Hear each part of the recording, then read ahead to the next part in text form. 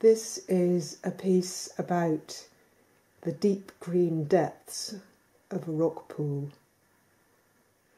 As you can see, much of what is happening in the pool has been created by the dyeing of the fabric. All of these colours all happening in one piece of fabric here. And then I have more that I can work with